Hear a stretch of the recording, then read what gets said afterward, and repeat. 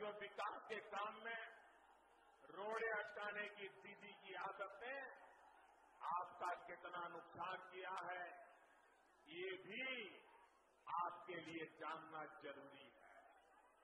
केंद्र की सरकार ने पश्चिम बंगाल के एक करोड़ से अधिक गरीब परिवारों को पाँच लाख रुपया तक के मुफ़्त इलाज की व्यवस्था की।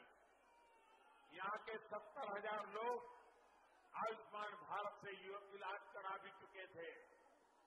लेकिन स्पीड ब्रेकर दीदी ने इस पर ब्रेक लगा दिया। है साथियों, आपके इस चौकीदार ने कुछ बिहार सहित पश्चिम बंगाल के सत्तर लाख से अधिक किसान परिवारों के बैंक खाते में सीधे पैसे ट्रांसफ़र करने की योजना लागू की है। लेकिन दीदी ने उस पर भी ब्रेक लगा दिया है। भाई और बहनों, आपके इस चौकीदार का संकल्प है 2022 तक हर गरीब, हर बेघर के पास अपना पक्का घर हो, उसको झुग्गी से मुक्ति मिले, ये मेरा सपना है। इस काम के लिए, पश्चिम बंगाल के गरीब परिवारों के गाँव और शहर में लगभग तेरह लाख घर ये चौकीदार की सरकार ने बना दिए हैं। लेकिन गरीबों के लिए घर बनाने की स्पीड भी दीदी ने धीमी कर दी है। भाई और बहनों, स्पीड ब्रेकर दीदी ने अगर केंद्र सरकार की योजनाओं को रोका नहीं होता तो आज बहुत सारी सुविधाओं का लाभ यहाँ के नागरिकों तक पहुँच गया होता।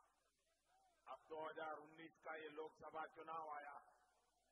दीदी को सबक सिखाने के लिए पश्चिम बंगाल में जितना ज़्यादा कमल खिलेगा, आपकी आवाज़ उतनी ज़्यादा ही ज़्यादा मज़बूत होगी।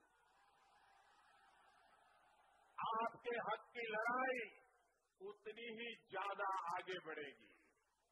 जब दिल्ली में आपकी आवाज़ गूंजेगी तो बहुत दिन तक दीदी की मनमानी चल नहीं पाएगी। ये मैं आपको विश्वास देने आया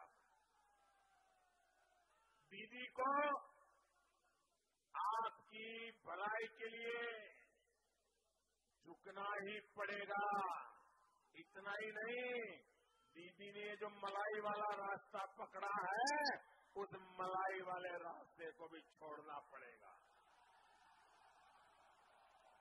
साथियों दीदी का असली चेहरा दुनिया के सामने लाना ज़रूरी है।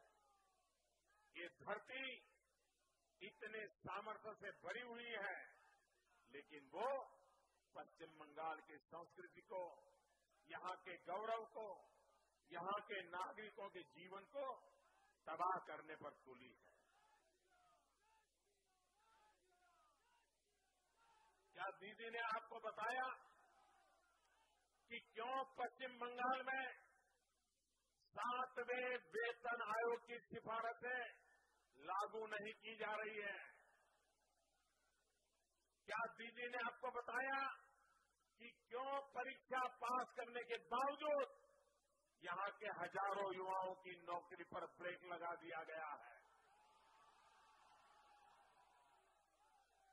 क्या दीदी ने आपको बताया कि यहाँ के चाय बागानों में शिक्षा और से जुड़ी सुविधाओं को रोकने का काम क्यों किया जा रहा है?